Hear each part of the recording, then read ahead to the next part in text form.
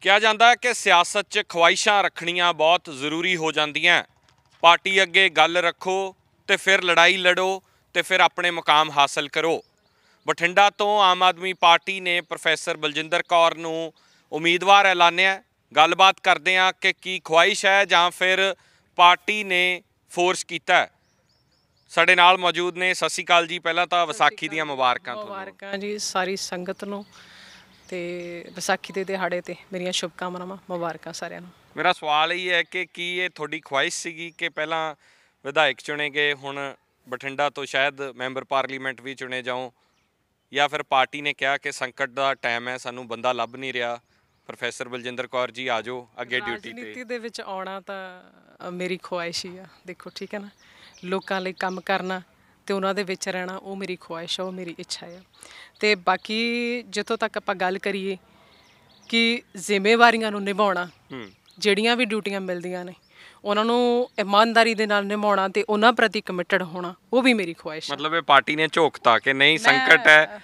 ਮੈਂ ਮੈਂ ਇਦਾਂ ਨਹੀਂ ਕਿਹਾ ਤੁਸੀਂ ਮੇਰੀ ਗੱਲ ਨੂੰ ਹੋਰ ਤਰੀਕੇ ਨਾਲ ਲੈ ਗਏ।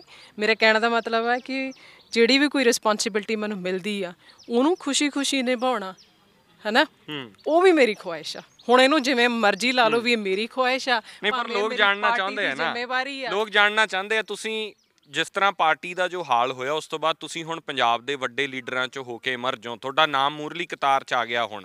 ਜੇ ਲੋਕ ਆਮ ਆਦਮੀ ਪਾਰਟੀ ਵੱਲ ਦੇਖਦੇ ਆ ਤਾਂ ਤੁਹਾਡਾ ਪਹਿਲੇ ਤਿੰਨਾਂ 'ਚ ਨਾਮ ਆਉਣ ਲੱਗ ਗਿਆ। ਭਗਵੰਤ ਮਾਨ ਤੋਂ ਬਾਅਦ ਤੁਹਾਡਾ ਨਾਮ ਆ ਰਿਹਾ ਹੈ। ਇਸ ਕਰਕੇ ਲੋਕ ਜਾਣਨਾ ਚਾਹੁੰਦੇ ਕਿ ਤੁਸੀਂ ਸਿਰਫ ਇਸ ਹਲਕੇ ਤੱਕ ਸੀਮਤ ਨਹੀਂ ਰਹੇ ਹੁਣ ਐਮਪੀ ਤੱਕ ਜਾ ਰਹੇ ਹੋ ਤਾਂ ਤੁਹਾਡੀ ਖੁਆਇਸ਼ ਸੀ ਜਾਂ ਪਾਰਟੀ ਚਾਹੁੰਦੀ ਸੀ ਕਿ ਲੜੋ?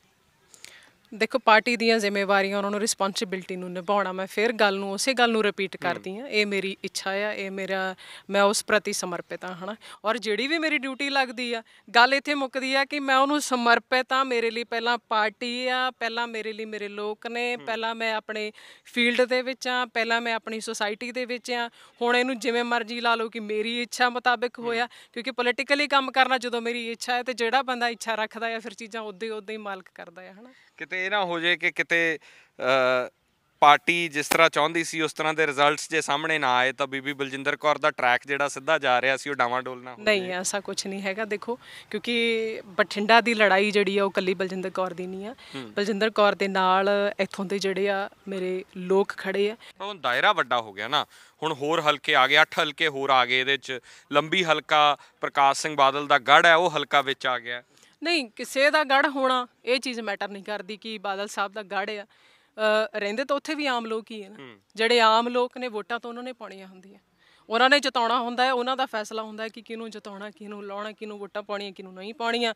ਸੋ ਇਹ ਤਾਂ ਲੋਕ ਵੱਡੇ ਆ ਪਬਲਿਕ ਵੱਡੀ ਆ ਜਨਤਾ ਵੱਡੀ ਆ ਲੋਕਾਂ ਦਾ ਫੈਸਲਾ ਵੱਡਾ ਹੈ ਫੈਸਲਾ ਉਹਨਾਂ ਨੇ ਕਰਨਾ। ਤੁਸੀਂ ਕੀ ਸੋਚਦੇ ਹੋ ਕਿ ਮੁਕਾਬਲਾ ਕਿੱਥੇ ਜੇ ਹੈ ਤੁਹਾਡਾ? ਆਪਣੇ ਆਪ ਨੂੰ ਕਿੱਥੇ ਰੇਟ ਕਰਦੇ ਹੋ? ਬੜੀ ਓਨੈਸਟ ਜਿਹਾ ਜਵਾਬ ਚਾਹੁੰਦਾ ਮੈਂ। ਮੈਂ ਤਾਂ ਦੇਖੋ ਜੇ ਮੈਂ ਆਪਣੇ ਆਪ ਦੀ ਗੱਲ ਕਰਾਂ ਤਾਂ ਆਮ ਨੋ ਵਨ ਰਾਈਟ ਮੇਰੀ ਲੜਾਈ ਲੜਨ ਵਾਲੇ ਤਾਂ ਜੀ ਮੇਰੇ ਲੋਕ ਨੇ। ਇਹ ਤਾਂ ਫੈਸਲਾ ਉਹਨਾਂ ਨੇ ਕਰਨਾ। ਅੱਜ ਵੀ ਮੇਰੇ ਹਲਕੇ ਦੀ ਮੈਂ ਇੱਥੇ ਮੀਟਿੰਗ ਕਾਲ ਕੀਤੀ ਹੋਈ ਸੀ ਸਾਰੇ ਤਿਆਰ ਬੈਠੇ ਨੇ। ਆਪਦੇ ਰਿਸ਼ਤੇਦਾਰਾਂ ਨੂੰ ਲੈ ਕੇ ਆਪਣੇ ਹਲਕਿਆਂ ਦੇ ਨੂੰ ਲੈ ਕੇ। ਉਹ ਤਾਂ ਬਹੁਤ ਖੁਸ਼ ਨੇ ਜੀ ਕਹਿੰਦੇ ਪਾਰਟੀ ਨੇ ਸਾਨੂੰ ਐਡੀ ਵੱਡੀ ਜ਼ਿੰਮੇਵਾਰੀ ਦਿੱਤੀ ਆ ਤੇ ਅਸੀਂ ਤਾਂ ਹੁਣ ਇੱਥੇ ਮਰ ਮਿਟਾਂਗੇ ਪਰ ਤੁਹਾਨੂੰ ਨਹੀਂ ਲੱਗਦਾ ਐਤਕੀ ਸਿਨੈਰੀਓ ਡਿਫਰੈਂਟ ਹੈ? ਪਿਛਲੀ ਵਾਰ ਲਹਿਰ ਸੀ ਆਮ ਆਦਮੀ ਪਾਰਟੀ ਦੀ ਇੱਕ ਵੇਵ ਚੱਲੀ ਸੀ ਪੂਰੇ ਪੰਜਾਬ ਦੇ ਵਿੱਚ। ਇਸ ਵਾਰ ਤੁਹਾਨੂੰ ਕੀ ਲੱਗਦਾ ਹੈ? ਬਲਜਿੰਦਰ ਕੌਰ ਦਾ ਫੇਸ ਜਿਹੜਾ ਹੋਊਗਾ ਉਹ ਅੱਗੇ ਰੱਖੋਗੇ? ਆਮ ਆਦਮੀ ਪਾਰਟੀ ਦੀਆਂ ਨੀਤੀਆਂ ਰੱਖੋਗੇ? ਦਿੱਲੀ 'ਚ ਜਿਹੜੇ ਕੰਮ ਹੋਏ ਆ ਜਾਂ ਉਹ ਲੋਕਾਂ ਤੱਕ ਲੈ ਕੇ ਦਿੱਲੀ ਦੇ ਕੰਮ ਵੀ ਲੋਕ ਚੰਗੀ ਤਰ੍ਹਾਂ ਜਾਣੂ ਨੇ। ਬਾਕੀ ਜੇ ਬਲਜਿੰਦਰ ਕੌਰ ਦੀ ਹੋਂਦ ਆ ਤਾਂ ਆਫ ਕੋਰਸ ਉਹ ਪਾਰਟੀ ਕਰਕੇ ਹੀ ਹੈ। ਜੇ ਉਹਦਾ ਚਿਹਰਾ ਹੈ ਤਾਂ ਉਹ ਵੀ ਪਾਰਟੀ ਕਰਕੇ ਹੈ ਔਰ ਜਿੱਥੋਂ ਤੱਕ ਗੱਲ ਕਰੀ ਕਿ ਅਸੀਂ ਪਬਲਿਕ ਸਾਹਮਣੇ ਕੀ ਰੱਖਾਂਗੇ? ਤਾਂ ਪਬਲਿਕ ਇਸ ਗੱਲ ਨੂੰ ਜਾਣਦੀ ਹੈ ਕਿ ਭਾਵੇਂ ਉਹ ਅਕਾਲੀ ਦਲ ਸਰਕਾਰ ਰਹਿ ਗਈ ਹੈ 10 ਸਾਲ ਇੱਥੇ, ਭਾਵੇਂ ਬੀਬਾ ਹਰਸਿਮਰਤ ਇੱਥੇ ਐਮਪੀ ਰਹਿ ਗਏ ਨੇ 10 ਸਾਲ ਤੇ ਭਾਵੇਂ ਹੁਣ ਕਾਂਗਰਸ ਦੀ ਸਰਕਾਰ ਬਣ ਗਈ, ਤੇ ਇਹਨਾਂ ਨੇ ਹੁਣ ਤੱਕ ਕੀਤਾ ਕੀ ਆ? ਸੋ ਇਹ ਮੈਨੂੰ ਕੀ ਅਸੀਂ ਗੱਲ ਕਰੀਏ ਕਿ ਉਸ ਵੇਲੇ ਵੇਵ ਸੀ, ਉਸ ਵੇਲੇ ਲਹਿਰ ਸੀਗੀ 2017 ਦੇ ਵਿੱਚ। ਉਹ ਗੱਲ ਤੁਹਾਡੀ ਸਹੀ ਆ ਕਿ ਉਸ ਵੇਲੇ ਜਿਹੜਾ ਸਿਨੈਰੀਓ ਆ ਡਿਫਰੈਂਟ ਸੀਗਾ ਇਸ ਵੇਲੇ ਡਿਫਰੈਂਟ ਆ। ਬਟ ਲੋਕ ਜਿਹੜੇ ਆ, ਉਹ ਇੰਨੇ ਕੁ ਸਿਆਣੇ ਹੈਗੇ ਨੇ, ਉਹ ਜਾਣਦੇ ਨੇ ਕਿ ਅਸੀਂ ਕਿੱਥੇ ਸਟੈਂਡ ਕਰਨਾ ਆ, ਅਸੀਂ ਇਸ ਵਾਰੀ ਕੀ ਫੈਸਲਾ ਕਰਨਾ।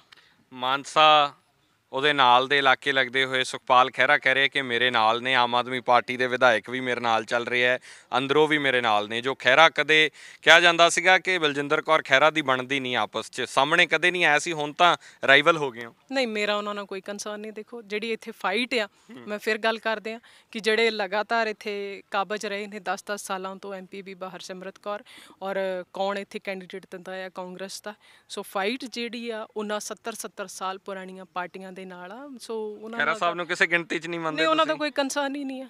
ਕੋਈ ਕੰਸਰਨ ਨਹੀਂ ਉਹ ਤਾਂ ਮੈਨੂੰ ਨਹੀਂ ਪਤਾ ਵੀ ਉਹ ਦੁਆਬੇ ਤੋਂ ਆ ਕੇ ਇੱਥੇ ਕਿਉਂ ਇਲੈਕਸ਼ਨ ਕੰਟੈਸਟ ਕਰ ਰਿਹਾ so this is totally under question mark ਤੁਹਾਨੂੰ ਨਹੀਂ ਲੱਗਦਾ ਉਹ ਤਾਂ ਉਹ ਤਾਂ ਕਹਿ ਰਹੇ ਆ ਕਿ ਮੈਂ ਹਰਸਿਮਰਤ ਬਾਦਲ ਦੇ ਖਿਲਾਫ ਲੜਨ ਆਇਆ ਕਾਂਗਰਸ ਦੀਆਂ ਨੀਤੀਆਂ ਦੇ ਖਿਲਾਫ ਲੜਨ ਆਇਆ ਆਮ ਆਦਮੀ ਪਾਰਟੀ ਖਿਲਾਫ ਜਿਹੜਾ ਗੁੱਸਾ ਸੀਗਾ ਉਹਦੇ ਖਿਲਾਫ ਲੜਨ ਦੇਖੋ ਮੈਂ ਪਹਿਲਾਂ ਗੱਲ ਕੀਤੀ ਹੈ ਕਿ ਮੈਨੂੰ ਉਹਨਾਂ ਤੱਕ ਕੋਈ ਮੇਰਾ ਕੰਸਰਨ ਨਹੀਂ ਮੇਰੀ ਉਹਨਾਂ ਤੱਕ ਮੈਨੂੰ ਕੋਈ ਮਤਲਬ ਨਹੀਂ ਹੈ। ਜੇ ਸੁਖਪਾਲ ਖਹਿਰਾ ਸਾਰਿਆਂ ਨਾਲੋਂ ਵੱਧ ਵੋਟਾਂ ਲੈ ਜਾਂਦੇ ਉਹ ਵਿਨਰ ਹੋ ਜਾਂਦੇ ਆ ਤਾਂ ਫਿਰ ਫਾਈਟ ਤਾਂ ਉਹਨਾਂ ਦੇ ਨਾਲ ਬਣੂਗੀ ਨਾ ਇਹ ਤਾਂ ਪਬਲਿਕ ਨੇ ਦੱਸਣਾ ਨਾ ਕੌਣ ਇੱਥੇ ਉਹੀ ਤਾਂ ਕਹਿ ਰਿਹਾ ਕਿ ਤੁਹਾਡਾ estimate ਕੇ ਹੈ? ਤੁਸੀਂ ਕੀ? ਸੋਚਦੇ ਹੋ? ਸੁਖਪਾਲ ਖਹਿਰਾ ਨੂੰ?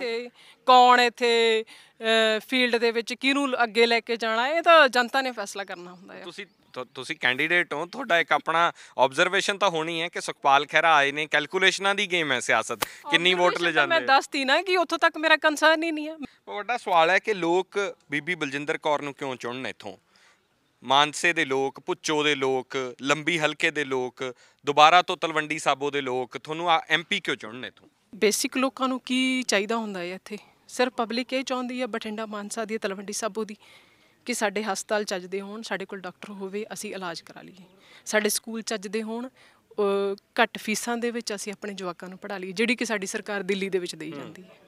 ਤੇ ਹੋਰ ਇੱਥੇ ਕੀ ਚਾਹੀਦਾ ਹੈ? ਇੱਕ ਇਹ ਚਾਹੀਦਾ ਹੈ ਵੀ ਅਸੀਂ ਸਮੇਂ ਸਿਰ ਰੋਟੀ ਖਾ ਲਈਏ। ਤੇ ਜਿਹੜੇ ਇੱਕ ਹੋਰ ਜਿਹੜਾ ਮੁੱਦਾ ਪੰਜਾਬ ਦੇ ਵਿੱਚ ਇਸ ਵੇਲੇ ਐਡੇ ਐਡੇ ਬਿਜਲੀਆਂ ਦੇ ਬਿੱਲ ਆਈ ਜਾਂਦੇ ਜਿਹੜੇ ਵਿਚਾਰੇ ਦੋ ਦੋ ਬਿੱਲਾਂ ਵਾਲੇ ਆ ਹਨਾ ਉਹ ਕਿੱਥੋਂ ਇਹ ਸਾਰੀਆਂ ਭਰਨਗੇ? ਸੋ ਹੋਰ ਲੋਕਾਂ ਨੂੰ ਇਦੋਂ ਵੱਧ ਕੋਈ ਉਮੀਦਾਂ ਨਹੀਂ ਹੁੰਦੀਆਂ ਸਰਕਾਰ ਤੋਂ ਆਹੀ ਚੀਜ਼ਾਂ ਚਾਹੀਦੀਆਂ। ਲੋਕ ਸਵਾਲ ਕਰ ਰਹੇ ਕਿ ਆਮ ਆਦਮੀ ਪਾਰਟੀ ਜੇ ਕੱਲਿਆਂ ਲੜਨ ਦੇ ਇੰਨੀ ਸਟਰੋਂਗ ਸੀਗੀ ਤਾਂ ਫਿਰ ਕਾਂਗਰਸ ਦੀਆਂ ਮਿੰਤਾਂ ਕਿਉਂ ਕੀਤੀਆਂ ਜਾ ਰਹੀਆਂ ਕਿ ਸਾਡੇ ਨਾਲ ਆ ਕੇ ਗੱਠਜੋੜ ਕਰ ਲਓ? ਦੇਖੋ ਕੁਝ ਫੈਸਲੇ ਇਹ ਲੋਕਾਂ ਦੀ ਆਵਾਜ਼ ਨਹੀਂ ਹੈਗੀ। ਪਹਿਲੀ ਗੱਲ ਮੈਂ ਕਲੀਅਰ ਕਰਦਾ। ਕਿਉਂਕਿ ਲੋਕ ਨਹੀਂ ਇਹ ਕਦੀ ਵੀ ਚਾਹੁੰਦੇ ਕਿ ਹਾਂ ਇਹ ਆਮ ਆਦਮੀ ਪਾਰਟੀ ਕਾਂਗਰਸ ਦੀਆਂ ਮਿੰਤਾਂ ਕਰ ਰਹੀ ਹੈ ਮੈਨੂੰ ਨਹੀਂ ਜਿਹੜੇ ਪਤਾ ਤੁਹਾਡੇ ਇਹ- ਸਪੋਰਟਰਸ ਨੇ ਉਹ ਸਵਾਲ ਕਰਦੇ ਨੇ। ਤੁਸੀਂ ਗਰਾਊਂਡ ਤੇ ਜਾ ਕੇ ਉਹਨਾਂ ਨਾਲ ਗੱਲ ਕਰੋ। ਉਹ ਗਰਾਊਂਡ ਵਾਲੇ ਕਹਿੰਦੇ ਆ ਕਿ ਅਸੀਂ ਜਿਸ ਪਾਰਟੀ ਦੇ ਨਾਲ ਗਏ ਆ ਕਾਂਗਰਸ ਦੀਆਂ ਨੀਤੀਆਂ ਦੇ ਖਿਲਾਫ ਪਾਰਟੀ ਹਮੇਸ਼ਾ ਆਵਾਜ਼ ਚੱਕਦੀ ਰਹੀ। ਬਲਜਿੰਦਰ ਉਹ ਪਾਰਟੀ ਅੱਜ ਕਾਂਗਰਸ ਦੇ ਨਾਲ ਕਿਉਂ ਗੱਠਜੋੜ ਕਰ ਰਹੀ ਬਲਜਿੰਦਰ ਹੈ? ਕੌਰ ਕੋਈ ਬਾਹਰੋਂ ਨਹੀਂ ਆਈ ਹੋਈ। ਬਲਜਿੰਦਰ ਕੌਰ ਇੱਥੇ ਮਿੱਟੀ ਦੇ ਵਿੱਚੋਂ ਹੀ ਵੱਡੀ ਹੋਈ ਆ ਗਰਾਊਂਡ ਤੇ ਹੀ ਪਲੀ ਆ। ਇਹਨਾਂ ਲੋਕਾਂ 'ਚ ਹੀ ਰਹਿੰਦੀ ਹੈ ਠੀਕ ਹੈ? ਜਿਹੜੀ ਗਰਮੀ ਸਰਦੀ ਉਹ ਹੰਡਾਉਂਦੇ ਆ ਉਹਨਾਂ ਨੂੰ ਹੰਡਾਉਣ ਵਾਲਿਆਂ 'ਚੋਂ ਮੈਂ ਆ ਮੈਂ ਕੋਈ ਰਾਜੇ ਮਹਾਰਾਜਿਆਂ 'ਚੋਂ ਨਹੀਂ ਆ ਤੇ ਲੋਕ ਨਹੀਂ ਇਹ ਚੀਜ਼ ਕਦੀ ਵੀ ਕਹਿੰਦੇ ਸੋ ਇਹ ਮੈਨੂੰ ਨਹੀਂ ਪਤਾ ਵੀ ਕਿੱਦਾਂ ਮੈਨੂਪੂਲੇਟਡ ਹੋ ਕੇ ਚੀਜ਼ਾਂ ਆ ਜਾਂਦੀਆਂ ਨੇ। ਤੇ ਬਾਕੀ ਜਿੱਥੋਂ ਤੱਕ ਰਹਿ ਗਈ ਗੱਲ ਕਿ ਕੁਝ ਫੈਸਲੇ ਨੇ ਜਿਹੜੇ ਕਿ ਜਦੋਂ ਅਸੀਂ ਦੇਸ਼ ਨੂੰ ਇੱਕ ਕਰਪਸ਼ਨ ਫ੍ਰੀ ਹੋਣ ਦੀ ਗੱਲ ਕਰਦੇ ਹਾਂ ਤਾਂ ਉੱਥੇ ਇਹ ਨਹੀਂ ਹੁੰਦਾ ਹੈਗਾ ਕਿ ਜਿਉਂ ਦੀਆਂ ਤਿਉਂ ਚੀਜ਼ਾਂ ਹੋਣ ਕੁਝ ਫੈਸਲੇ ਜਿਹੜੇ ਉਹ ਲੈਣੇ ਪੈਂਦੇ ਹੁੰਦੇ ਆ। ਤੇ ਮੇਰੇ ਖਿਆਲ ਨਾਲ ਇਸ ਵੇਲੇ ਜੇ ਕੋਈ ਵੈਸੇ ਤਾਂ ਇਦਾਂ ਦੀ ਗੱਲਬਾਤ ਹਜੇ ਮੈਨੂੰ ਕੋਈ ਲੱਗਦਾ ਨਹੀਂ ਹੈਗੀ ਆ।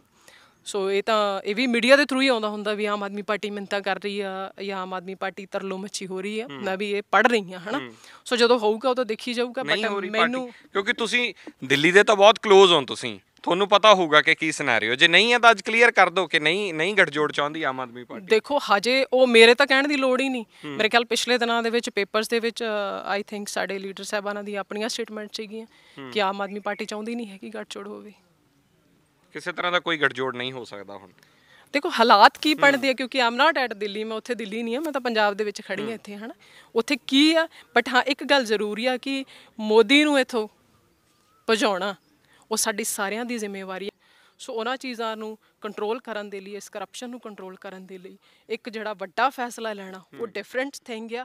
ਤੇ ਜਿਹੜਾ ਤੁਸੀਂ ਕਹਿ ਰਹੇ ਹੋ ਵੀ ਸਮਝੌਤਾ ਹੋ ਗਿਆ ਉਹਦੇ ਨਾਲ ਅਲਾਈਅੰਸ ਹੋ ਗਿਆ ਉਹ ਹਜੇ ਬਹੁਤ ਦੂਰ ਦੀਆਂ ਗੱਲਾਂ ਨੇ ਜਦੋਂ ਹੋਊਗਾ ਉਦੋਂ ਮੈਂ ਉਸ ਤਰੀਕੇ ਦੇ ਤੁਹਾਨੂੰ ਦੱਸ ਦੂੰਗੀ ਵੀ ਕੀ ਹੈ ਇਹਦੇ ਵਿੱਚ ਬੇਸਿਕ ਆਖਰੀ ਸਵਾਲ ਹੈ ਮੇਰਾ ਬਲਜਿੰਦਰ ਕੌਰ ਜੇ ਚੁਣੇ ਜਾਂਦੇ ਆ ਤਾਂ ਕੀ ਫਰਸਟ ਪੁਆਇੰਟ ਏਜੰਡਾ ਕੀ ਹੈਗਾ? ਬਠਿੰਡਾ ਵਾਸਤੇ ਕੀ ਕਰੋਗੇ ਤੁਸੀਂ? ਪਹਿਲੀ ਗੱਲ, ਕਿਉਂਕਿ ਹਰਸਿਮਰਤ ਬਾਦਲ ਬਹੁਤ ਗੱਲਾਂ ਗਣਾ ਦਿੰਦੇ ਏਮਸ ਲੈ ਕੇ ਆਏ ਆ, ਅਸੀਂ ਆਹ ਚੀਜ਼ਾਂ ਕੀਤੀਆਂ ਨੇ। ਫਰਸਟ ਚੀਜ਼ ਕੀ ਦਿਮਾਗ 'ਚ ਆਉਂਦੀ ਹੈ? ਮੇਰਾ ਤਾਂ ਜੀ, ਮੇਰੀ ਇਲੈਕਸ਼ਨ ਲੜਨ ਵਾਲੇ ਮੇਰੇ ਲੋਕ ਨੇ। ਲੋਕਾਂ ਦੀਆਂ ਜਿੰਨੀਆਂ ਸਮੱਸਿਆਵਾਂ ਨੇ, ਉਹਨਾਂ ਨੂੰ ਹੱਲ ਕਰਨ ਦੇ ਜਿਹੜੇ ਆ ਤੌਰ ਤਰੀਕੇ ਲੱਭੇ ਜਾਣਗੇ। ਔਰ ਬੇਸਿਕ ਜੇ ਆਪਾਂ ਗੱਲ ਕਰੀਏ, ਤਾਂ ਸਭ ਤੋਂ ਪਹਿਲੇ ਹੁੰਦੇ ਕਿ ਫੰਡਸ ਦੀ ਡਿਸਟ੍ਰੀਬਿਊਸ਼ਨ ਪ੍ਰੋਪਰ ਤਰੀਕੇ ਨਾਲ ਕਰਨੀ, ਕਿ ਲੋਕਾਂ ਦਾ ਪੈਸਾ ਲੋਕਾਂ ਤੇ ਲਾ ਕੇ ਉਹਨਾਂ ਦੇ ਸਾਹਮਣੇ ਲਿਸਟ ਰੱਖ ਦੇਣੀ ਵੀ ਆ ਪਿਆ ਆ। ਠੀਕ ਹੈ। ਪੰਜਾਬ- ਜਿਹੜਾ- ਐਮਪੀ ਮਤਲਬ ਜਿਹੜਾ ਪਹਿਲੇ ਹੱਲੇ ਕਰ ਜਿਵੇਂ ਮਾਨ ਸਕਦਾ ਸਾਹਿਬ ਕਹਿੰਦੇ ਆ ਕਿ ਮੇਰੇ ਕੋਲੋਂ ਪਾਈ ਪਾਈ ਦਾ ਹਿਸਾਬ ਲੈ ਲਓ ਤੁਸੀਂ। ਬਿਲਕੁਲ ਸਹੀ ਕਹਿੰਦੇ ਆ ਮਾਨ ਸਾਹਿਬ। 25 ਕਰੋੜ ਚੋਂ ਜੇ 1 ਰੁਪਿਆ ਵੀ ਕਹਿੰਦੇ ਜੇ ਮੇਰੇ ਕੋਲ ਇਸ ਇਧਰ ਉਧਰ ਹੋਇਆ ਤਾਂ ਮੈਂ ਲੋਕਾਂ ਦੀ ਕਚਹਿਰੀ 'ਚ ਗੁਨਾਹਗਾਰ ਆ ਬਿਲਕੁਲ ਮਾਨ ਸਾਹਿਬ ਸਹੀ ਕਹਿੰਦੇ ਆ।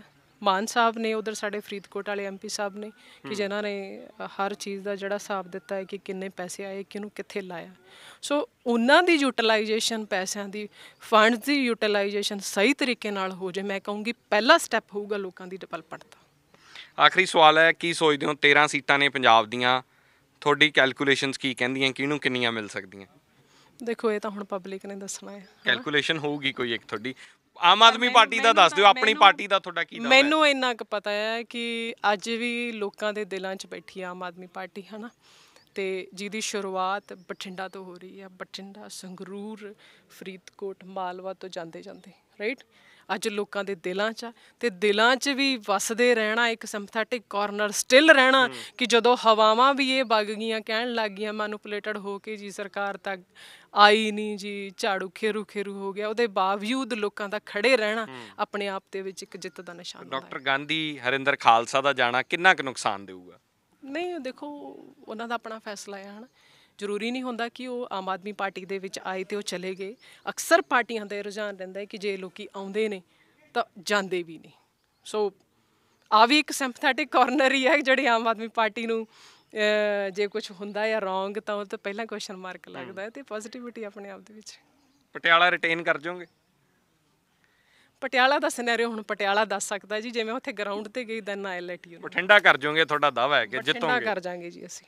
ਠੀਕ ਹੈ, ਜਿੱਤ ਦਾ ਦਾਅਵਾ ਹੈ, ਬਲਜਿੰਦਰ ਕੌਰ ਦਾ ਅੰਦਾਜ਼ ਇਹਨਾਂ ਦਾ ਹਮੇਸ਼ਾ ਹੀ ਇਸ ਤਰ੍ਹਾਂ ਰਿਹਾ ਹੈ ਔਰ ਸਾਫ਼ ਸੁਥਰੀ ਤੇ ਵਧੀਆ ਸਿਆਸਤ ਦੇ ਵਿੱਚ ਯਕੀਨ ਕਰਦੇ ਨੇ, ਕੋਸ਼ਿਸ਼ ਹਰ ਇੱਕ ਦੀ ਹੁੰਦੀ ਹੈ ਕਿ ਜਿੱਤ ਵੱਲ ਵਧਿਆ ਜਾਵੇ ਔਰ ਦਾਅਵਾ ਵੀ ਹੈਗਾ ਇਹਨਾਂ ਦਾ ਕਿ ਇਸ ਵਾਰ ਜਿੱਤ ਬਠਿੰਡਾ ਤੋਂ ਆਮ ਆਦਮੀ ਪਾਰਟੀ ਦੀ ਹੋਊਗੀ। ਕੈਮਰਾ ਪਰਸਨ ਰਾਜਵਿੰਦਰ ਟੋਨੀ ਦੇ ਨਾਲ ਸਿਮਰਨਜੋਤ ਸਿੰਘ, ਡੇਲੀ ਪੋਸਟ, ਬਠਿੰਡਾ। ਜੇ ਤੁਹਾਡੇ ਆਇਲਸ ਵਿੱਚ 6 ਈਚ ਬੈਂਡ ਤੇ ਤੁਹਾਡੇ ਕੋਲ ਹੈ ਕੈਨੇਡਾ ਵਿੱਚ ਸੈਟਲ ਹੋਣ ਦਾ ਸੁਨਹਿਰੀ ਮੌਕਾ। SDS ਪ੍ਰਣਾਲੀ ਦੇ ਤਹਿਤ ਅਪਲਾਈ ਕਰਕੇ ਤੁਸੀਂ ਕੈਨੇਡਾ ਸਟੂਡੈਂਟ ਵੀਜ਼ਾ ਹਾਸਲ ਕਰ ਸਕਦੇ ਹੋ।